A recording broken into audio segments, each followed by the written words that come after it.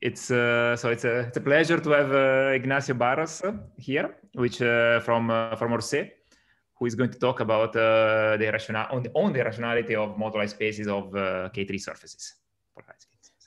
Okay, so thank you for the the invitation and the lovely introduction. So you can see my mouse here, right? If I point at things. Okay, great. Um, okay, so let me start saying that this is all um, joined with Daniele Agostini and Kuan-Wen Lai. Um, and uh, oh, okay. So okay, so so I, I want to break it uh, into five right uh, sections. So first I, I will recall, and it's very good that David gave a talk last week because he he covered a lot of, of, of these so, uh, measures of irrationality. So I will just recall these notions. Um, then talk about uh, Heegner divisors and Borcherds' theorem, which is the key, is sort of the, the, the key ingredient in, in, in our results. Um, um, and then, uh, yeah, relate case. So recall a bit the, so what is there in the literature about the, the relationship between K3s and special cubic fourfolds, this, these Hodge theoretic connections. Uh, and to use this to bound um, these, these measures of irrationality for moduli of K3s. And, and, finally, I will talk a little bit about the, the, the general statement, um, which is very recent. So, uh, but okay, yeah, you will see when, when we arrive there. Okay, so X, a projective variety over the complex numbers. Yeah, so the degree of irrationality, yeah, um, um, this is this is boring if you were here last week, but uh, anyhow, for, for those of you that were not, uh, so the degree of irrationality of X is the smallest possible degree of a dominant map from X to the projective space. Okay. Um, and uh, yeah, there are sort of two main ones. There are various notions of, of how to measure irrationality. Um, but the, the two sort of main ones, so finest and coarser in a way, is uh, the other one is the covering gonality. And the covering gonality of a variety X uh, is the smallest possible gonality of a covering curve. Sort of, so you ask for the smallest possible number such that for a general point in X, there is a curve of gonality, that number passing through. And just to remind you, the gonality of a curve is the smallest possible degree of a map to P1. So it's the degree of irrationality actually for a curve. Um, so yeah, another way of, of, of saying this, uh, this is the smallest possible C for which there exists a curve fibration dominating X such that the general fiber has gonality C.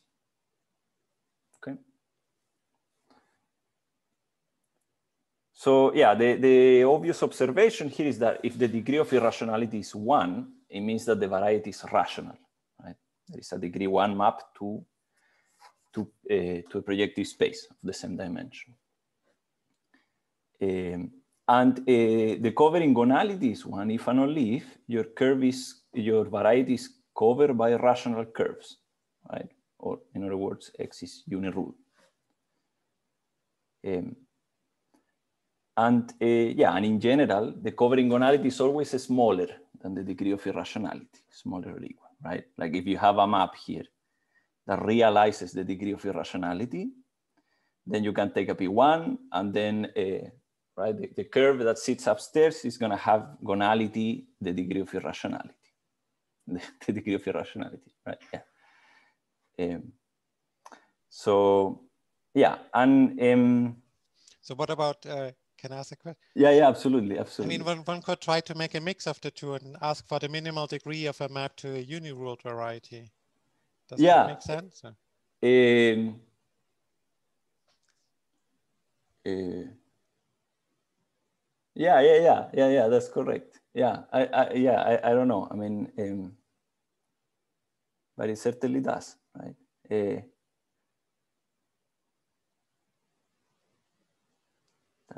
Yeah, yeah, I think so. Yeah, I, but I don't know. I, I have nothing to, to add there. Uh, Um, so, okay, so I'll, let me just give you sort of very briefly a, a, little bit of history about this, this invariant. So the, um, when, when the variety X is a curve, this is a very old invariant, right? It goes back to Riemann, uh, Riemann's existence theorem. The fact that every curve can be realized as a finite map to P1 and, um, and yeah, I don't know, another classical sort of uh, uh, theorem in, in the literature in curves is uh, uh, Harris-Mumford Harris theorem. Uh, the way they show that MG is of general type for G big enough is by uh, exactly sort of studying the locus where curves have gonality less than expected. Um, so it's a, yeah, I, I, I, don't know. I mean, this, for in curve theory is a very, very important invariant, the gonality. Um, and then, uh, yeah, so the degree of irrationality, uh, Heinz and Moh, they, they introduced it uh, in the 80s. Um, then uh, Yoshihara has uh, various papers, like five or six papers, where he computes the, the degree of irrationality for, for various, so different classes of surfaces. Um, uh, Lopez Pirola, nine, uh, 95, they, um, they compute the, um, the covering gonality of, uh, of a surface in P3, right, of degree D. Um, So uh, Bastianelli um, computed the covering gonality of symmetric product of curves uh, in terms of the gonality of the curve um, and the degree of irrationality. Um, and, uh, and then there is this paper of Bastianelli, De Poi, Ein, Lazarsfeld, and Ullery, where they sort of, uh, I mean, these invariants have been around for, for a while with, with, not, not precisely with these names, right, with different names. Uh, they're, sort of very natural invariants. And, um, and they studied this for um, hypersurfaces uh, and um, of, of, any dimension, right? And, and then um, they, they managed to bound from, from below, from above also, but, but that's sort of trivial, but from below the covering gonality of smooth hypersurfaces of, of large enough degree and, um, and they compute the degree of irrationality when X is very general. And then, um, yeah, since then there has been more. You, you already saw uh, David Stapleton's talk. Um, uh, there are more contributions, but but I will I, will sort of stick to to, to this list. Um, okay, so let me go to K3 surfaces. So XH is a polarized K3 of genus G. Um, right then, okay, so th there is a classical result of uh, Bogomolov-Mumford uh, that says that um, every K3 surface can be covered by uh, elliptic curves, possibly singular, right? Actually, if the, if the genus is two or bigger, they are gonna be singular. But in any case, it can be dominated by a family of elliptic curves. So a family of, of gonality two. So the covering gonality of any uh, K3 surface is two. Um, and um, Stapleton uh, proved that, um, that actually the degree of irrationality is bounded by a square root of, of the degree from above. And uh, the, it, so there is this question already in this paper of, of the five authors. Um, um, that I mentioned um, states there, so as, just as an open question, can we bound the covering gonality or the degree of irrationality for MG or AG? It's a, it's a question, it's a, a, um, it's a question of Donagi. Um, and, um, and let me add there FG, okay? Um, it's, it's, also a sort of a fundamental moduli space. Um, and uh, I, I, want to sort of convince you that the picture for FG is uh, might be sort of substantially simpler than for MG and AG. Um, but yeah, let, let me sort of remind you, right, that all these moduli spaces, they are all of general type, except finally many. all of them, right? So, so there is the classical result of Harris-Mumford, MGs of general type, when G is at least 24. Then um, a, a Freitag, Mumford these are, these are uh, three papers, I believe. Um, uh, but uh, AGs of general type, as long as G is at least seven. So moduli space of principally polarized abelian varieties of dimension G. Uh, and uh, more recently, Gritsenko, Hulek, Sankaran, uh, they show that FGs of general type for G starting from 63. Um, and then they have sporadic cases where it's also general type uh, for G below that. But, um, but the point is that they are very far from being rational, right? They are all of general type, except finally many happening uh, for, for fairly sort of small G. Um, so yeah, okay. So um, let me just sort of tell you uh, what can we say about MG, just sort of without uh, looking at the literature, right? Uh, what can we say about MG? So HGD, this is the Hurwitz space parameterizing uh, simply ramified covers of P1 of degree D and genus G. Okay. So uh, yeah, if uh, if it's too fast, you yeah you can feel free to say. Uh, okay, the Hurwitz space, right? So uh, elements there are maps, uh, are isomorphism classes of maps from a curve of genus G, a map of degree D, simply ramified to P1. So this space comes with two maps, the one that forgets the map to P1 and remembers the source, right? Um, and, and this map is dominant as long as D is bigger than this number. This is the gonality of a general curve of genus G, right? Um, and then there is the map that forgets the source curve and remembers the P1 uh, together with all the information that the P1 comes from, right? Which is the branching, uh, essentially, yeah, that, the branching up to ordering. Okay, and this map is also dominant, moreover, is finite, right? This is, this is Riemann existence theorem, the fact that um, fixing uh, branch points and prescribing uh, the ramification, right? How, how the monodromy, so um, yeah, so prescribing branching and ramification gives you a curve, right? And, and then this choice is unique, right? It has to do with, with understanding uh, sort of transitive subgroups of Sn. Uh, n here is, is this number, 2g minus 2 plus 2d. Um, anyhow, uh, these, these numbers, the degree of this map, uh, are very mysterious. This is, uh, there is no closed formula for them. Um, and uh, people in Gromov-Witten theory studies, they study them. Um, but so, some things are known. Um, but in principle, okay, so this is an obvious observation, right? That if you take a P1 here, right, the curve upstairs is gonna have gonality this degree, right? And this dominates MG, provided D is big enough. So, um, so yeah, so, so we have this bound.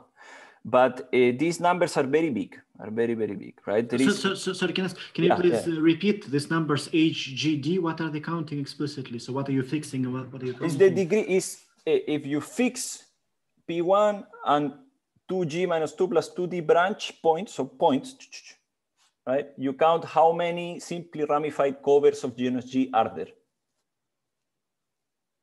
Yeah, and, and then um, yeah, and then what, what I was saying is that by, by this, so uh, Riemann's existence theorem translates into, uh, so recovering the curve upstairs has to do with prescribing monodromy, right? Uh, if you take a cycle around one of these points, how does it act on the fiber? And, and this is, um, yeah, so this is the same as sort of uh, asking for subgroups of Sn uh, that they need to act, act transitively right? On uh, SD, sorry, the degree, right? They need to act transitively on the on the fiber, and yeah, there are a few conditions that need to be satisfied. But um, So yeah, and there is a paper of Dubrovin, Yang, Zagier from, from 2017 where they give explicit asymptotic formulas when you fix either G or D. So if you fix the genus, so okay, here, if you fix the degree and make the genus goes to infinity, this number um, behaves exponential. Okay, and the same if you do it the other way around. If you fix the genus and, and make the degree grow.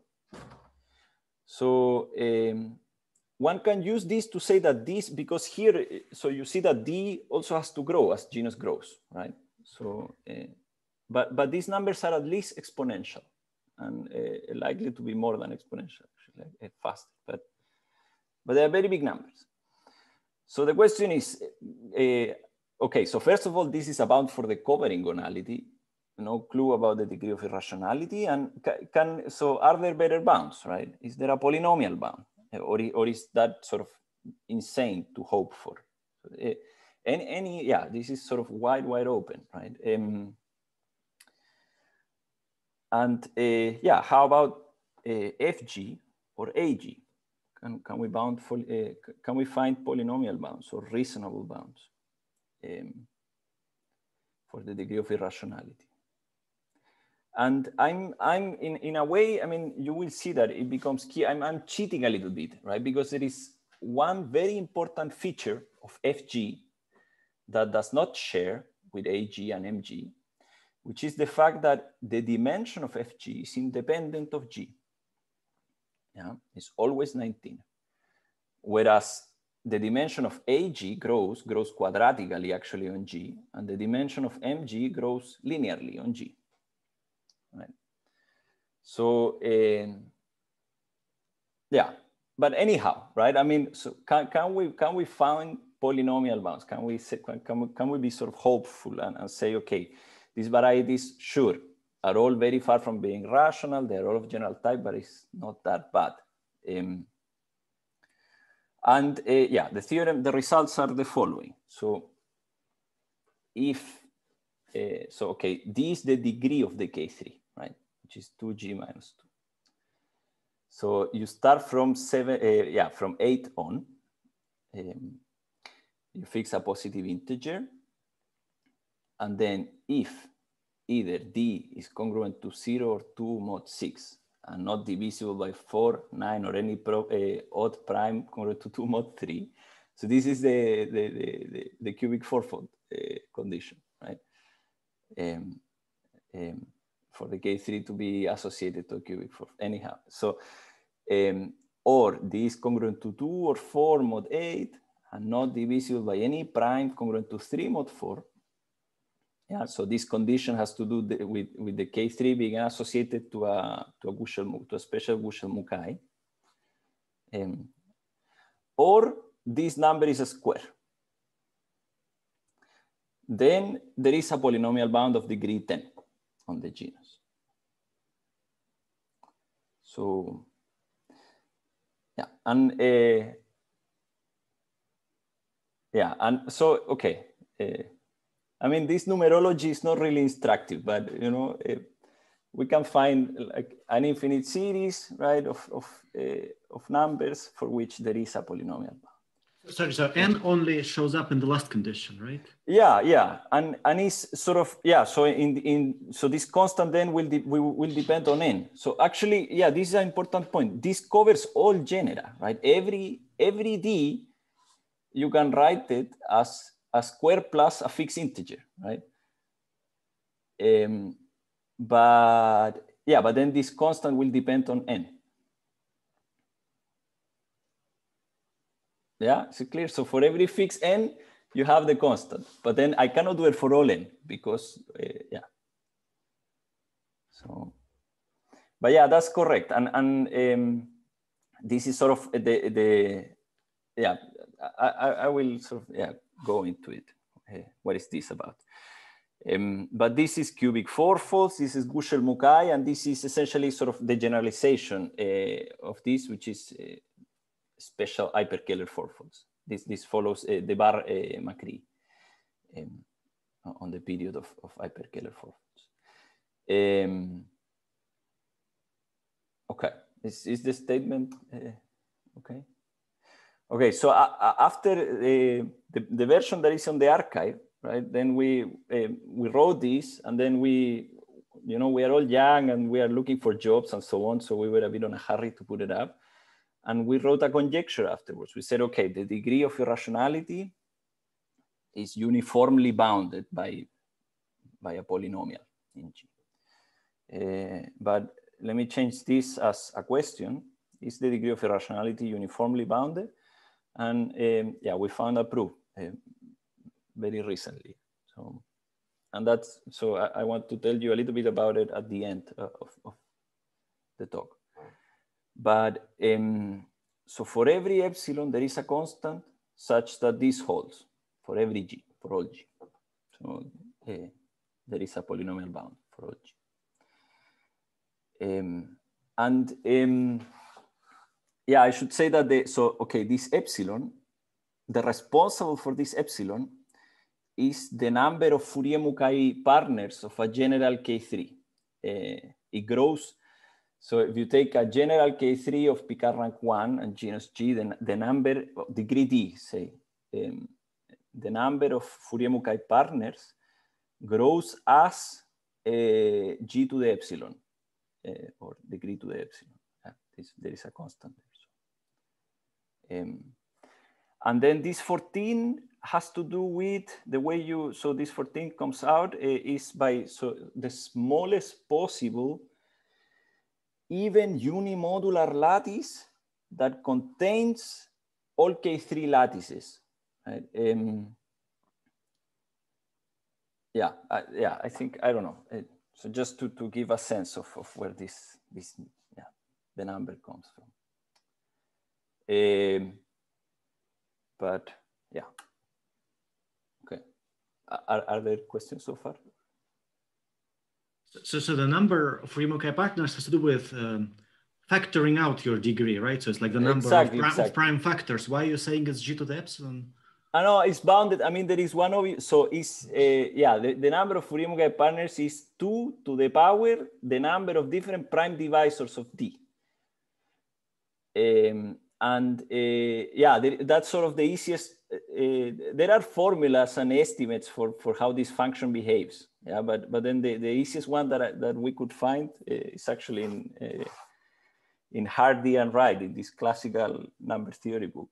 Is that uh, that number is is a, is a list like li is bounded by the by the divisor function that counts the total number of divisors, and uh, that behaves like little o of uh, of d to the epsilon. But yeah, maybe one can do slightly better. I mean, there are, yeah, there is literature around that, right? That log n over log log n and, and so on, and then making the, the error smaller and smaller. But um, I think, yeah, this is sort of the cleanest that we could, uh, uh, that we could find. The cleanest, uh, yeah. Okay. Um, so okay let me give you sort of the, the rough idea of how this works um, because yeah i don't know i i, I mean of course it comes from close the, the, the recommendation but i think it's pretty cool um, um, okay so for for the first theorem yeah this sort of special hyperkähler fourfolds um, so if you take g in that range, in the, in the either first, second, or third range. The idea is to essentially embed all these FGs for Gs of that form inside the same projective space. So that is something that you cannot do for MG or, or AG. Yeah. Um, uh, and then once, yeah, once you have them all inside the same projective space, then you are in, in a sort of I don't know, it's, it's a bit of a better situation, right? Because then if you take a general linear projection, you map to a P19, right? Then um, the degree of this map is gonna be the degree of this variety inside PM, right? Or the closure. So the degree of irrationality in particular is bounded by the degree of this thing inside this big projective space. Right? So now now the yeah the, the, the sort of okay so now Borcherds come in, in in the game right so so an important result of him together with this this translation from k3s to hyperkählers uh, Hassett for cubic four folds, Debarre, Iliev, Manivel for Gushel, Mukai, and the Debarre Macri for in general for special cubic four folds, sorry, for special hyperkähler four folds. This all says that one can find a modular form of weight 11 with some Fourier expansion at infinity, where the degrees of fg, they appear there as coefficients. And, uh, and this, the fact that this is a modular form actually is asking, so this, this needs to be holomorphic at infinity, right? So then now, now you can breathe in peace, but because the coefficients cannot go as crazy as they want, right? Uh, so in particular, yeah, in, in our case, this means that the, the coefficients cannot grow of the Fourier expansion, right, of, of a modular form of this weight. Uh, they cannot, they grow as big O of n to the 10. Okay, they cannot, cannot grow faster. So then the degree cannot grow faster, um, and, and, and that gives you the bound. Okay. So the rough strategy is, is, is, is more or less clear. Is um, I grab all these FGs, I put them in the same projective space, I study the degrees. And then there is machinery that tells me that these degrees, they fit as numbers, right? In the Fourier expansion of a modular form. And modularity then gives me that these numbers, their growth is controlled.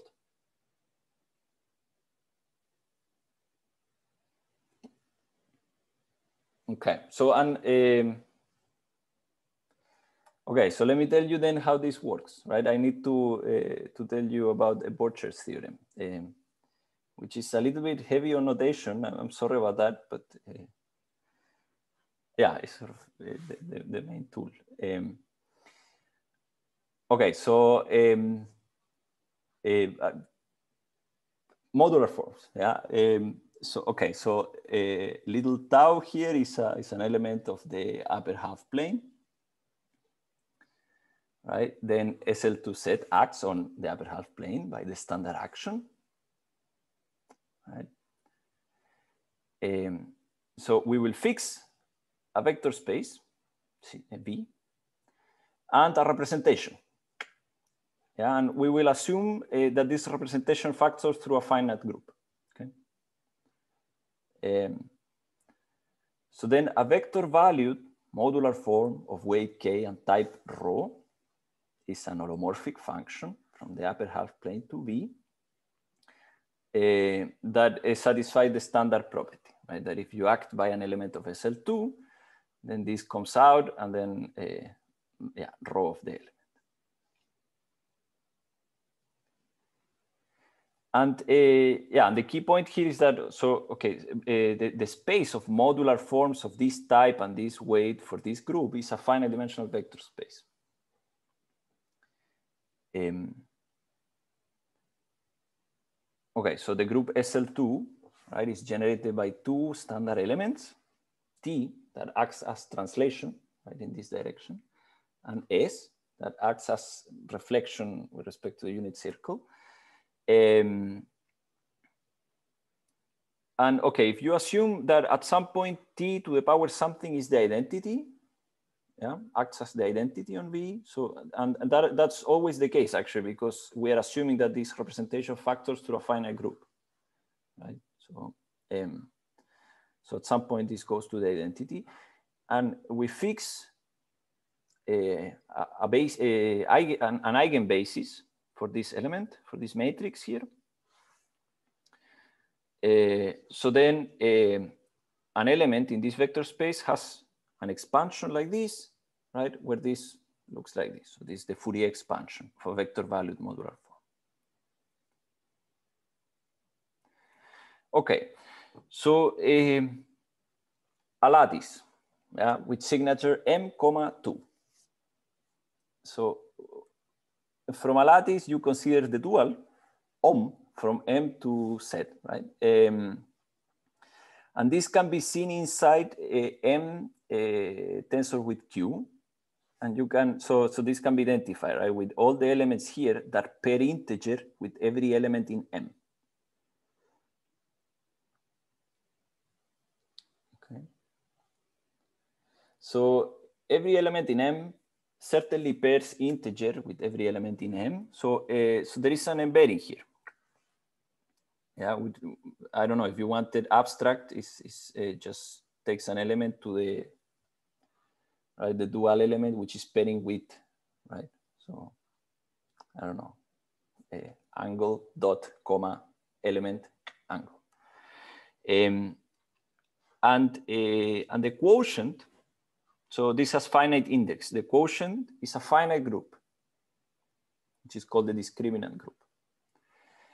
Um, and it comes with a Q mod Z valued quadratic form right? You have a Q valued one, which is, so the one on M, you tensor it with Q.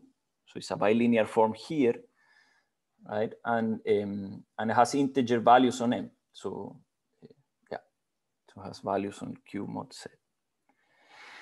And uh, so from this, okay, so from the lattice, you have the discriminant group, and there is um, a distinguished representation, which is called the Weil representation that acts on the group algebra of the discriminant group.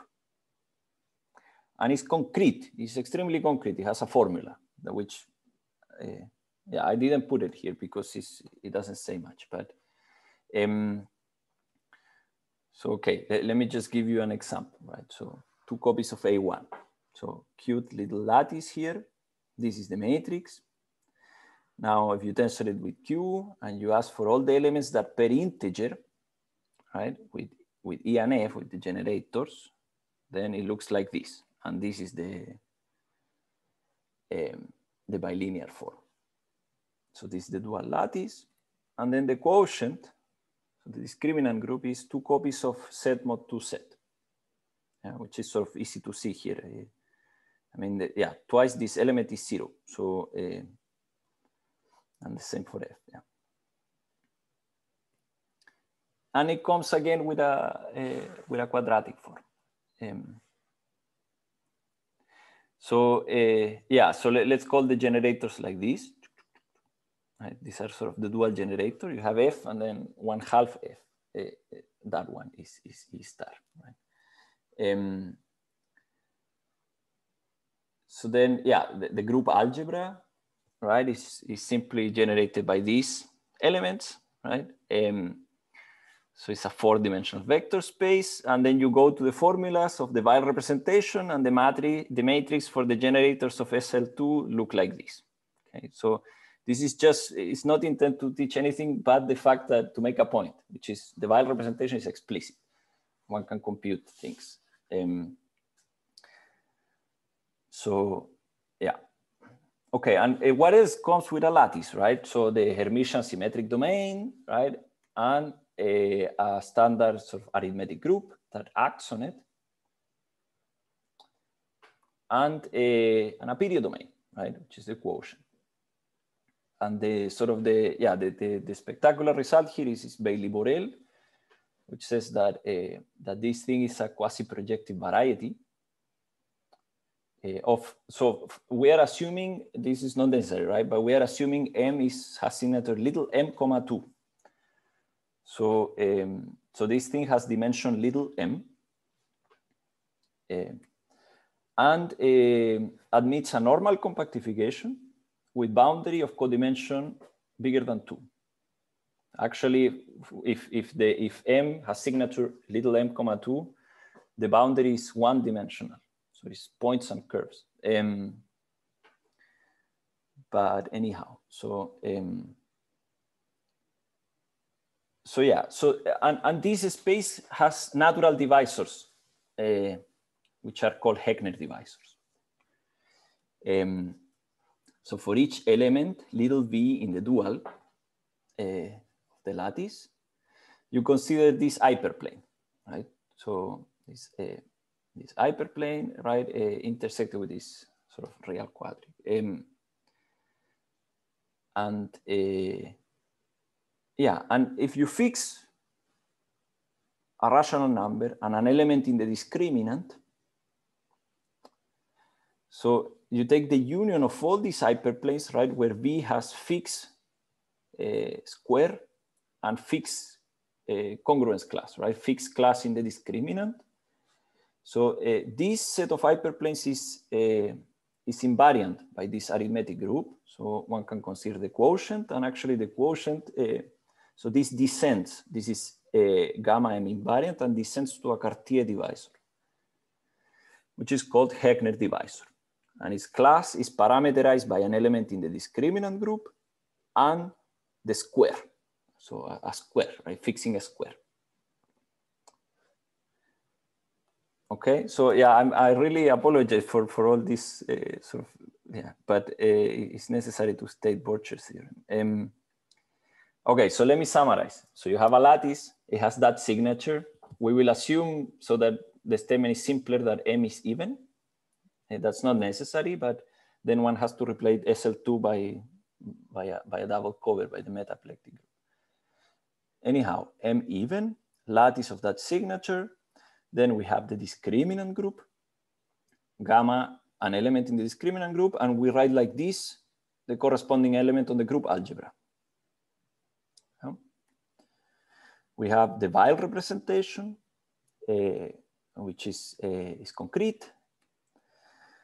And then, so uh, yeah, for, for every element in actually in the dual of M, uh, half their square lives in something like this, right? Where n is actually the smallest possible, so it's the smallest integer for which the Weil representation evaluated at this element is the identity.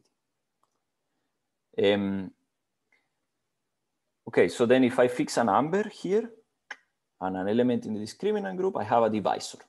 It might be empty. If the divisor is empty, then I just declare it to be zero. Okay.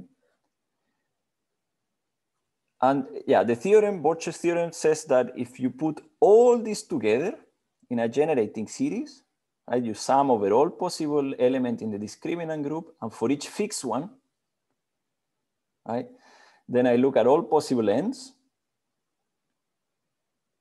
okay, and I put this, this variable here right, to keep track of it. Then this element lives in here. It's a modular form for the full SL2 with this weight and this representation with coefficients, uh, Heegner divisors as coefficients. Okay. Um, yeah. Uh, can I ask, can I ask what's the simplest example? So like something about elliptic curves or I don't know, like CM points on, on uh, yeah, that's a good. And then, then which concrete modular form you get? That's a that's a good question. Um, uh, Just like what's the simplest instance where it would make sense? Well, I mean, in principle, this makes sense for every lattice. Yeah, even lattice of uh, sorry, even lattice of signature m comma two. Okay. Um, but I mean, yeah, I will show you a concrete example, right? I mean, that's what we had to do. Um, but uh, yeah, um, yeah, yeah. I, I, don't know. I don't know. I mean, uh, um, because it's yeah. The, the, so this is all a little bit new to me, but uh, it's also um, I don't know if it's known, right? Like which modular forms can be realized as, as Borcherds' modular form, right? That, that's also, um, so, um, but yeah, so I, I, will show you a concrete example when we go to the Gushel Mukai story. Um, so yeah, so you, you see here, okay, so let me give you one sort of application of this. Yeah, This PM uh, is normal, right? Uh, so, so there is a map like this. It's a normal scheme. So um, there is a map, right, uh, that associates a Cartier divisor, a Weil divisor, right, a modulo linear equivalence. Now there is an isomorphism like this, and this is the fact that the boundary has high codimension. And there is a map like this, that is the degree, right? I mean, this is a projective variety. So you put it inside a projective space, uh, and then uh, you can map right a, a, a, divisor to Z by counting its degree, right? Intersecting with the codimension one uh, sort of, you know, uh, I don't know. Uh, so, so you have an ample line bundle, right? Then you, you cap it, you intersect it with ample line bundle to the power, the corresponding power, right? So that you get a number. The, the degree, if you fix an embedding into some projective space, this is just the degree. So let me call this whole composition the degree, okay? So this is a, a group homomorphism. So now I can consider this map, right? where instead of having Heegner divisors, I just put their degrees. So, so this is how the, the generating function looks like. So this is a vector valued modular form, right, by Borcherds' theorem. Um, uh,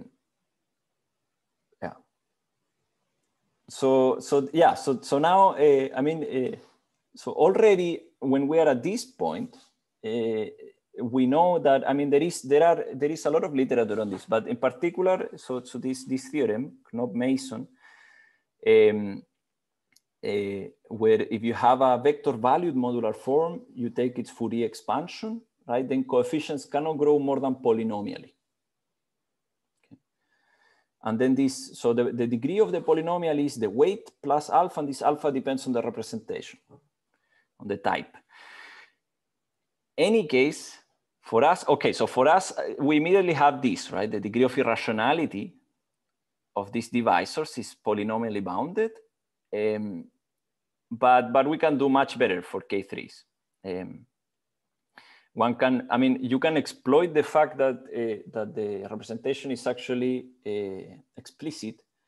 And then you study eigenvalues, eigenspaces, and try to make this into a scalar valued modular form, right? Where, where, uh, where bounds are better on the growth. So can I, can I square the K3s on this picture? So no, uh, yeah. So, so, far, I mean, that's what I'm saying. That if if you put so if if you do this for concrete sort of okay so it, it, this, the story with k3s is that okay the lattice is concrete right and then you have this sub so you have this Heegner divisor which correspond to special uh, modular objects right special cubic fourfolds special Gushel-Mukai blah blah blah um, so then uh, yeah and uh, and once you you sit down and you try to write to to understand the Weil representation um, you see that, I mean, one can study sort of eigen um, uh, vectors, right? So say, okay, so, so uh, maybe even, I mean, actually this happens, right? That there is a congruence group, small enough, but still congruence group, for which the Weil representation is trivial when restricted there. So in particular, any of these ones will just be a scalar valued modular form. And then for those, there is a basis. You have cusps, which grow, the, their coefficients grow very small, uh, slow, and Eisenstein series. And Eisenstein series, their coefficients are explicit. So, so then that's why you, yeah, I mean. Uh, I think I had a more basic inference. Do you mean like in the space of all cubic fourfolds, these Heegner divisors would be special cubic fourfolds? Is this what you're saying? Yeah, yeah, yeah, exactly, exactly. So, I mean, this, so this is not, K3s, this is not a, so when I say, so for concrete examples this can we can we can do better right if, if we fix um, you know if we fix the lattice and then we study concretely the Weil representation we can do better we can find better bounds and then the point is that the k3s are uh, they are so in these three sort of in the a b and c range k3s are going to be birational to Heegner divisors so uh, yeah. Um, okay, so I have 15 minutes. So, um, okay, so I, I, should say, all right, so this, um, this was used by Maulik and Pandharipande, so Borcherds' theorem, to study uh, degrees of uh, divisors on, on concrete families of, of quasi-polarized K3s. Um, and um, uh, Li and uh, Zhang they use this to compute uh, the degree of inside the inside the projective space of cubic fourfolds. Right, of cubic polynomials. Um, uh, the degree of the locus of those that have discriminant that are special with discriminant d. Um, and this was our so this this was our starting point actually, um, because um, yeah, uh, and uh, yeah, maybe I should say something about that. Um, okay, so cubic fourfolds, right? And then this is the moduli of cubic fourfolds. Okay, and then there is a period map here, right? Um, so we know that, I mean, so this is, um, let me just keep it vague, but, but it's, I think it's, it's sort of an important discussion of, uh, uh, so this is the moduli of special cubic fourfolds of discriminant D, right? Um, and, uh, and then uh, PGL right, uh, fixed, so it doesn't change the discriminant, right? So the orbit over this point, uh, so uh, this is gonna be a PGL6 bundle over the base, right? So it's birational to the base times P35. Um, and uh, yeah, and this for infinitely many G's, right? So this is condition A, right? In, in, in in, in our theorem, these are either birational or admit a degree two map to FG. So, um, but yeah, the point is that so Li and Zhang they have a they have a, a modular form which is explicit and computes the degrees of, of these objects, right? But uh, comparing, so one can bound the degree of irrationality, right here. But um, the point is that comparing uh, the degree of irrationality of the base with the one here, right? This is a very, very subtle matter. So, uh, in, in general, right? This, so if, if you think about this being one or not, right? This has to do with, with when in algebraic geometry, the question of a variety, when a variety is stably rational and not rational is an extremely, extremely hard question, right? Which has to do with when right? Uh, this is one and this is not one. So, uh, so we sort of had to drop this picture, right? Um, and, uh, and the point is that by choosing the, the Baily-Borel degree, we lose control over which explicit modular form we get, uh, but, um, but we circumvent this, this difficulty, right? So, um, Okay, so so let me tell you. Maybe maybe I should skip some slides here. Uh, um,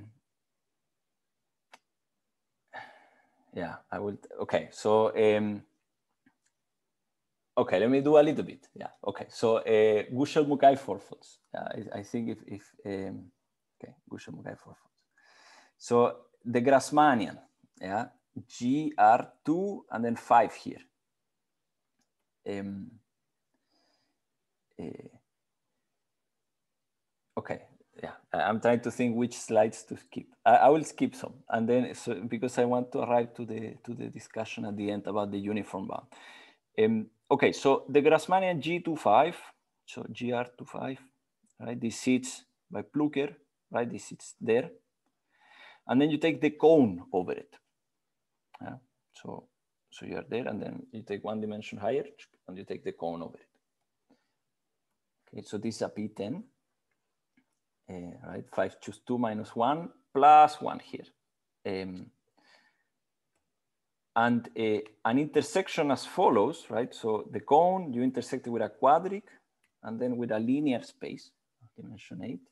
This is what is called a Gushel-Mukai fourfold. Okay. And then uh, there is a Gushel-Mukai map, which is projection from the vertex. Okay. So um, yeah, this makes, so uh, this is a Fano variety of index two um, and a degree 10. And actually every Fano variety of uh, Fano fourfold of degree 10 and index two uh, is of this form. Okay, and the vanishing cohomology is the cohomology, you take away everything that comes from the Grassmannian. Uh, so this is a lattice of this shape. So, um, so this is a unimodular part. So here you already see that the discriminant group of this thing will be the one that we studied before. Uh, and it has this signature. And the corresponding period domain has dimension 20, it's a quasi-projective variety. And then you say that, okay, so a Gushel-Mukai fourfold is special yeah, if, so in general, there is an equality here, if X is very general. So H22 classes, the only ones there are are those that come from the Grassmannian. Um, but uh, yeah, so we say that X is special if um, if there is a primitive uh, rank three sublattice here containing the, the, the cohomology classes of the Grassmannian. And then the discriminant of such can be either zero, two, or four mod A, right? So, so this is where this numerology uh, uh, starts appearing. Um, and then, yeah, again, so, okay, so let me skip a little bit here. Uh, so the point is that this, if, okay, so you say that here, okay, so this is a Gushel Mukai together with uh, this rank 3 sublattice of discriminant D containing the cohomology of the Grassmannian. So you say that a K3 is associated to it if there is a lattice isomorphism like this. Okay. Um, yeah, it has to be Hodge, yeah, of course. Um, and uh, yeah, and the point is that so uh, if if the discriminant is two or four mod eight, and not divisible by any prime congruent to 3 mod 4, right? Then this, this sort of Hodge theoretic identification gives you a birational isomorphism between FG and DD. And this, this, this changes, right? I mean, um, depending on D. But um, the key point here is that these, these are all Heegner divisors. So actually this is the explicit thing. So let me give you the formula here, right? I mean, these are parameterized by a rational number and a class in the discriminant group, which is this, is the group that we, we put before as an example.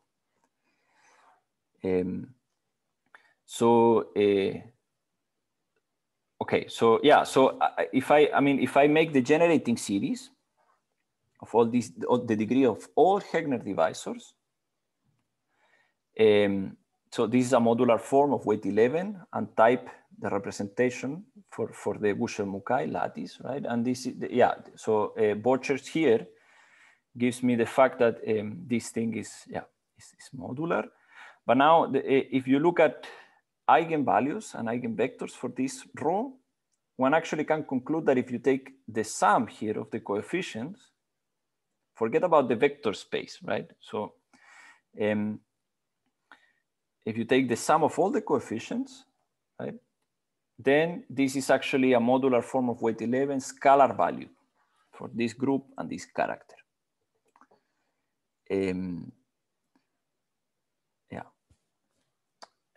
And um, yeah, and now, now it comes sort of classical theory here. Uh, so modular forms for some congruence group, some weight, and, and these uh, Dirichlet characters uh, they split, right? As so, if you take the the Fourier expansion here at infinity, so this always has a cusp at infinity, right? And you take its Fourier expansion. So this breaks into cusp forms and Eisenstein series. And then there is this classical result of Hecke from the 30s that says that the Fourier coefficients of a cusp form, they are bounded by a weight over two.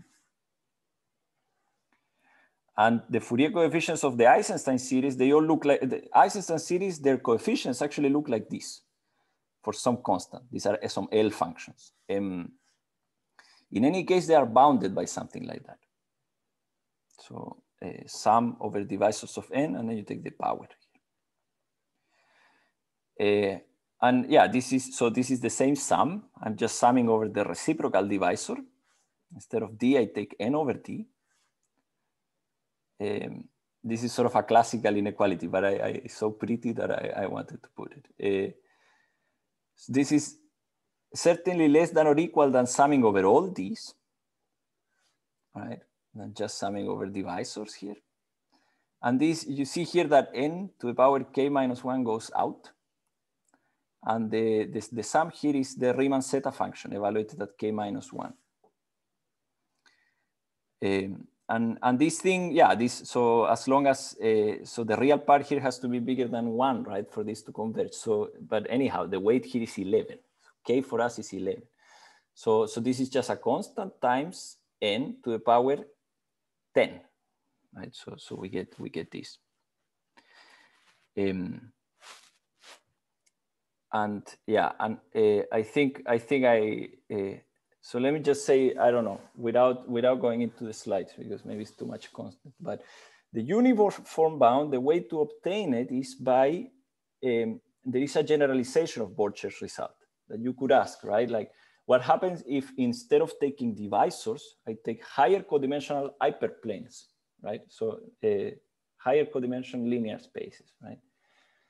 Um, so this has this form, right? So you take, you can take, you know, various vectors and then look at the orthogonal of them. And then, um, so this gives you, this descends, instead of descending to a, a divisor, it descends to a cycle. And the question, uh, last question is whether the same modularity statement holds, right? Um, and uh, yeah, and uh, so yeah, essentially it's, it's like this. Is this a modular form, right? One has to give it last names, right? For which group, with blah, blah, blah. But, but essentially is that, is this a modular form, right? It's, it's gonna be for the Siegel upper half plane now and so on. But, um, and the answer is yes, right? And Kudla Millson, they gave a proof for this for cohomology. Then uh, Wei Zhang proved, uh, proved it under certain conditions, um, some, some convergence conditions. Uh, but finally, yeah, there is a there is a proof now by um, a full proof by Bruinier and uh, Westerholt-Raum.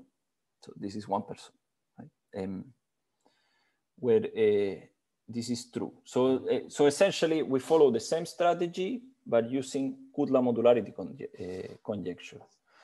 And and the, the remaining question is how to put all FGs inside the same period domain for some lattice, right? And um, yeah, and uh, and this this this can be done, right? Uh, um, uh, this is so here some some reference.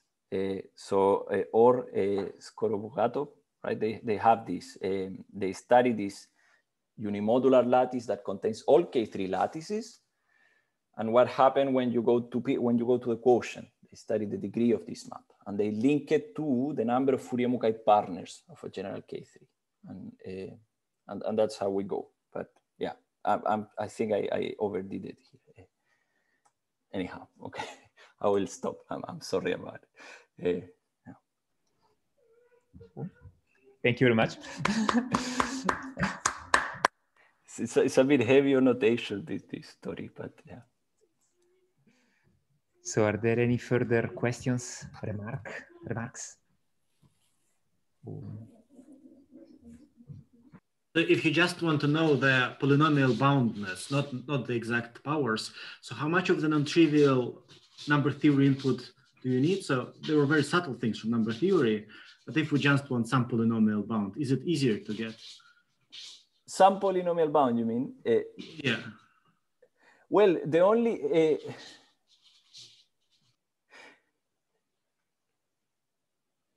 yeah, so okay, is, is this, this so the, the yeah some polynomial bound is this this theorem that I that I gave you at the beginning, right? That for every vector valued modular form, there is a polynomial bound.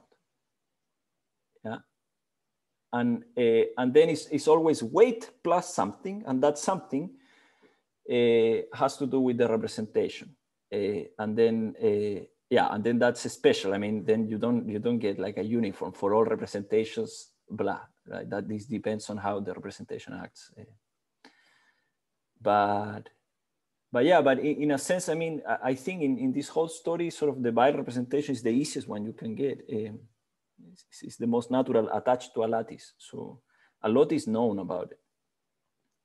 But uh, yeah, but I think, I mean, the, once you have modularity, then the rest is really uh, you know, linear algebra somehow. Like um, you, you, just check for eigenvalues, and then um, if I take twice the coefficients here minus this one, maybe the eigenspaces, right? And then uh, then you, you bring it down to scalar value. But um, yeah, yeah, I don't know. The, the, yeah, but still, the mother of questions uh, here is, is how to do this for MG or AG. I think uh, I don't know if if anyone has an input there, it would be greatly appreciated. so, can I ask? Um, so, I mean, you know, when you discuss Gushel-Mukai fourfolds, I mean, did you actually use anything about the geometry about Gushel-Mukai fourfolds, or did you just use the lattice? Yeah, exactly. It's just it's just the lattice, and then the um, uh, the fact that FG maps birationally into special Gushel-Mukai fourfolds in the lattice, right? Because also the period map for Gushel-Mukai contracts stuff, right? Uh, so yeah. Uh, so yeah, the whole identification is, is Hodge theoretic. Um, so I mean, could could we make up other lattice constructions where we don't use A2 or A1 plus 2, but some other lattice? Uh, yeah, that's that's a good question. And then, um, uh, I mean, in principle, sort of the last the last contract, con uh, construction actually uh, uses that, right? I mean, you put FG in a lattice that is no longer geometric. Uh, I mean, geometric. I don't know. It doesn't have, you know, a, a a moduli space behind it. It's just a lattice. Um, and uh, yeah, the question is whether like, so yeah, actually, yeah, yes, that, that's that's how we do it for in general for all G, right? Um, and and and if you can do it for smaller lattice, so to, to bring down the degree, uh, I I don't think so because I think like the the fact that it's unimodular sort of plays plays a, a key role. So uh, I think the so yeah the lattice story uh, you cannot extract more from it. I think I think um, still is so it's it's highly expected somehow that the degree of irrationality should be much smaller than the degree, right? I mean, it's not true for a variety that the degree of irrationality is realized as the degree for some embedding right? That's that's that's simply not true. Uh, and we are so we bound here the degrees, right? Uh, so yeah. So can ask in this argument, so this FGs, which projective space do they sit? Do they all sit? They all sit in the in the Baily-Borel, right? A compactification of a lattice that has signature 26,2. So uh, and I don't know what the project is, so what the dimension of the projective space is. I just know that there is one because of Baily Borel, right? There is a, a, there is an ample line bundle, that's it, right? So then you fix uh, that and then you work with that. But I don't know, eh, yeah. If, if you ask me for the value of M, I don't know, and I don't think that's an easy question. Uh, I don't know, I don't know.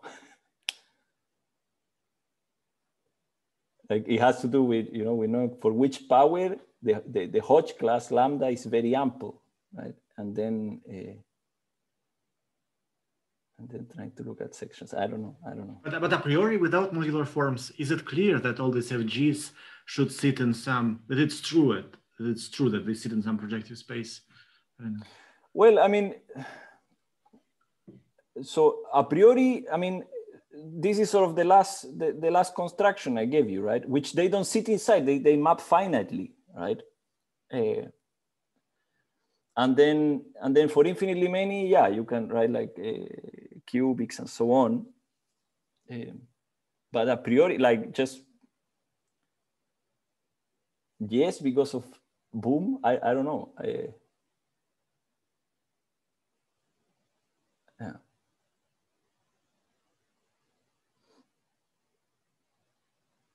but they, they do, they, they all map finitely into something inside the, the same projective space, which is gonna be impossible for MG and AG, right? So yeah, this is special for this collection of moduli spaces.